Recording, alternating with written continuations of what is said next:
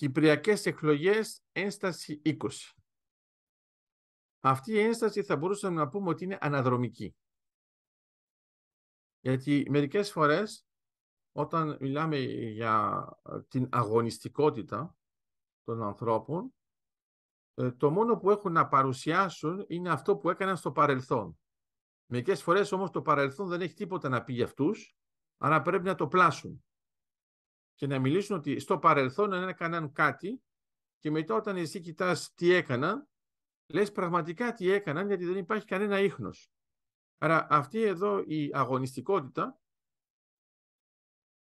καταλαβαίνουμε ότι είναι ένα πλαίσιο προπαγάνδας και το έχουμε δει αυτό και στην Σοβιετική Ένωση και βέβαια και ε, στο ναζιστικό καθεστώς που προσπαθούσαν για να πούν ότι είναι σημαντικά καθεστώτα να πούν ότι προέρχονται από κάτι πριν.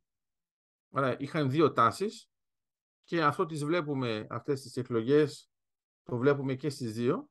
Έχουμε την τάση του ναζισμού, προέρχομαι από ένα σύστημα που τελικά πρέπει να ανατρέψει όλα τα άλλα για να επιβληθεί και έχουμε και την τάση του κομμουνισμού, ε, εγώ είμαι η αρχή των πάντων. Ε, το θέμα είναι ότι όταν χρησιμοποιούμε αυτές τις δύο κατηγορίες για να εκφραστούμε, στο τέλος καταλήγουμε να μην μιλάμε δημοκρατικά.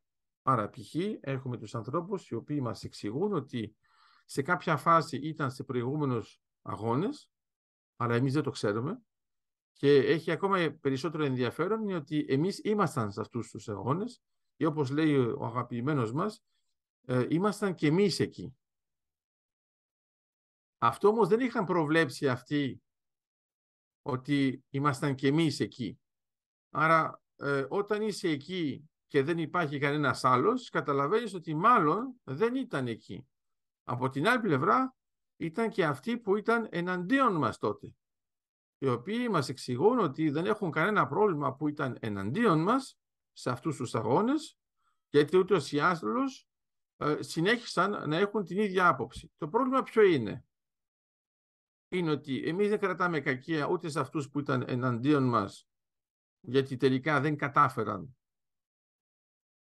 να υλοποιήσουν αυτό που ήθελαν τουλάχιστον για την Κύπρο δεν κρατάμε κακία ούτε σε αυτούς που δεν ήταν μαζί μας και δεν έκαναν τίποτα γιατί ούτως ή άλλως δεν κατάφεραν να μας ενοχλήσουν. Άρα μπορούμε να πούμε ότι από τις δύο πλευρές δεν κρατάμε κακία. Τώρα θα μου πείτε μήπως είναι masterclass αμυσίας. Όχι, είναι ένα podcast που αφορά τις εκλογές, αλλά έχει ενδιαφέρον να τις εξετάζουμε με αυτόν τον τρόπο, γιατί πρέπει να υπάρχει και κάποιο χιούμορ σε αυτές τις εκλογές, γιατί όταν βλέπουμε ότι πεθαίνουμε σε μια σοβαρότητα, η οποία σχετίζεται με ζωολογικό κήπο. Εμείς όμως πού να φανταστούμε ποιος μιλάει για ποιον. Αυτό που έχει σημασία λοιπόν, ότι μέσα και σε αυτόν τον αόρατο ζωολογικό κήπο, εμείς αυτό που βλέπουμε, επειδή κοιτάζουμε το βαρετικό πεδίο, ποιος έχει κάποια βαρύτητα και ποιος δεν έχει. Ε, και βλέπουμε ότι μερικές φορές ε, υπάρχει το απειροελάχιστο που μπορεί να επηρεάζει μεγάλες μάζες και υπάρχει και το αντίθετο, μια μεγάλη μάζα που δεν μπορεί να επηρεάζει το απειροελάχιστο. Άρα το ερώτημα τώρα είναι ποιος είναι ποιος. Αυτό που έχει σημασία είναι να καταλάβουμε το εξής. Έχουμε πολλούς υποψήφιους και θα έχουμε έναν πρόεδρο. Άρα το ερώτημά μας δεν είναι να κοιτάξουμε ποιος είναι και ποιος ήταν και τι ήταν πριν. Το ερώτημά μας είναι τι θα είναι μετά όταν θα είναι μόνος. Άρα αυτό σημαίνει ότι δεν εξετάζουμε τα σενάρια του παρελθόντος, προσπαθούμε να βρούμε τη στρατηγική του μέλλοντος. Όταν λοιπόν ακούμε ανθρώπους που συνεχώς κάνουν αναφορές στο τι έκαναν και τι δεν έκαναν στο παρελθόν, αναρωτιόμαστε αν στη συνέχεια θα συνεχίζουν να λένε τα ίδια. Γιατί μετά θα μας λένε ότι π.χ.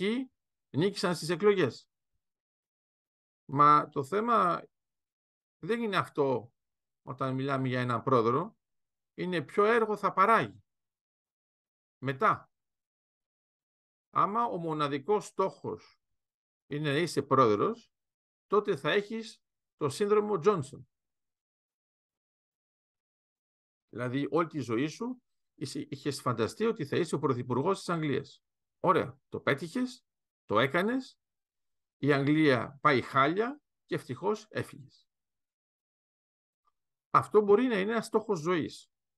Δεν μας πειράζει εμάς, αρκεί να μην είναι χάλια τα πράγματα στο τέλος.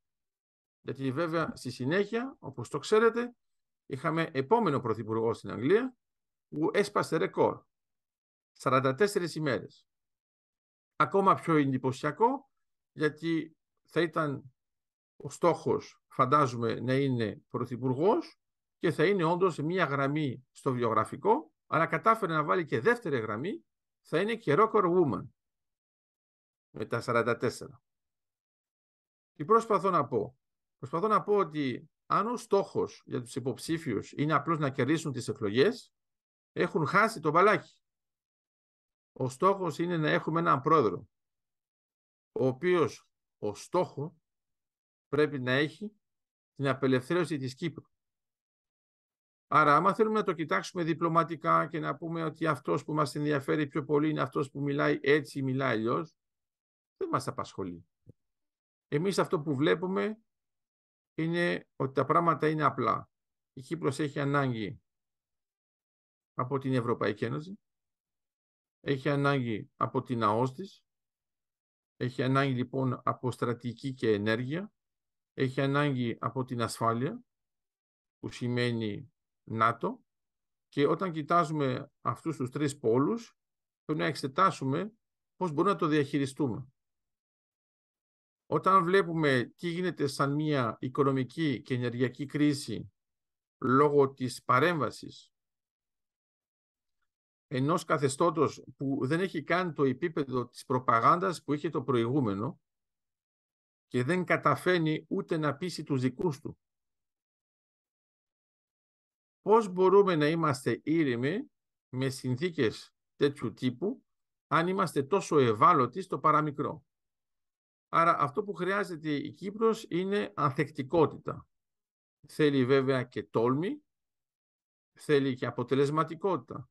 Άρα εδώ μπορεί να φαίνεται σε μερικές θέσεις, εμάς μας ενδιαφέρει στο τέλος της διαδικασίας, με αυτό το στρατηγικό μείγμα που αποτελεί η εκστρατεία, γιατί ο καθένας βάζει θέσεις και μετά απορροφά ο άλλος, ο υποψήφιος, τις θέσεις του άλλου. Μετά έχουμε βέβαια και δύο γύρους και πάλι αυτό θα έχει ένα νόημα.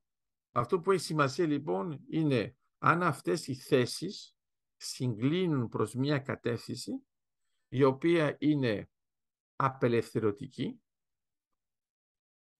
αποτερπτική και αποτελεσματική.